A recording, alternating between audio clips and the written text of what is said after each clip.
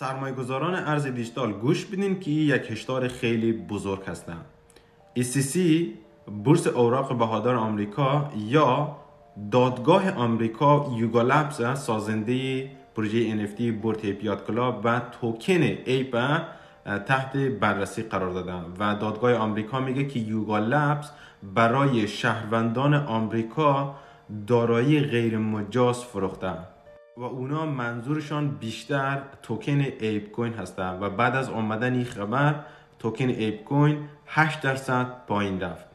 فعلا جزئیات خیلی زیاد در موردی وجود نداره که چطوری ادامه پیدا خواهد کرد. ولی این یک سیگنال بزرگ برای همه ما و شما هست که آمریکا قانونگذاری ارزهای دیجیتال شروع کرده و به طور جدی هم شروع کرده. و تا وقتی که آمریکا ارزهای دیجیتال کامل قانونگذاری نکرده. ای ره مطمئن باشین که خیلی از پروژه های ارز دیجیتال و یک عده از صرافی از داخل market گم خواهد شد. مثلا خود ما ببینید حدودا یک ماه قبل Tornado Cash از سمت دولت آمریکا کامل تحریم شد. XRP که در لیست ده ارز بزرگ market دو سال میشه که در دادگاه آمریکا پرونده داره و ApeCoin که یکی از بزرگترین پروژه های market هستن الان از سمت دادگاه آمریکا تحت بررسی قرار گرفتن. یعنی دادگاه آمریکا میگه که ApeCoin یک security دارایی غیر مجاز هستن.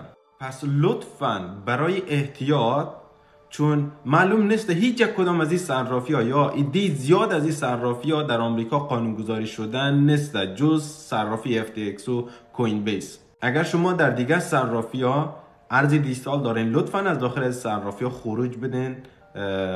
داخل یک سخت افزار بفرستین و بعدش یک عده‌ی زیاد از پروژه ارز دیجیتال از سمت دادگاه آمریکا security نام گرفته خواهد شد. همطوری که XRP و ApeCoin security نام گرفته شدن من خودم شخصا واقعا نگرانی هستم که برای این همه صرافی که ما الان داخل market داریم چه اتفاق خواهد افتاد و برای این همه coin و توکنی که ما داخل market داریم چه اتفاق خواهد افتاد. به خصوص coin و توکن هایی که او داشته یعنی قبل از اینکه توکنش به طور عمومی داخل market آمده پیش فروش داشته که یک عده از venture capital ها و شرکت های سرمایه گذاری روی توکن اینا در پیش فروش سرمایه گذاری کردن.